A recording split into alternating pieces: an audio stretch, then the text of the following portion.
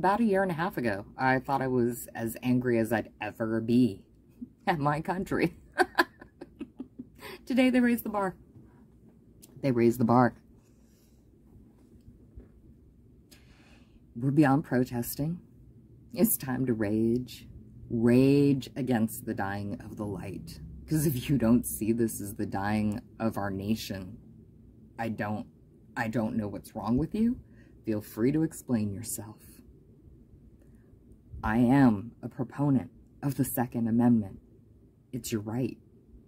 And I stand by everyone having a musket. I also stand by a Supreme Court ruling that gave women safe access to health care and allowed them to make decisions on their own regarding the rest of their lives.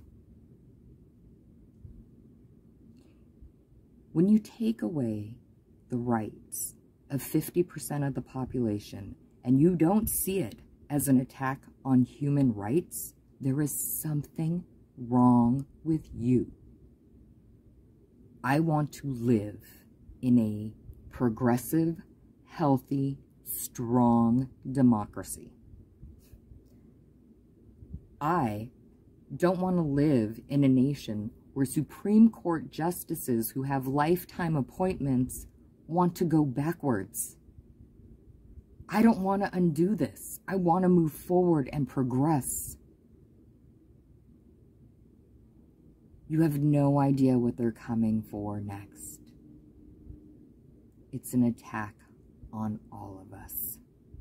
So rage. Rage against the dying of the light, because it's never been more important. I love this country, and it's killing me.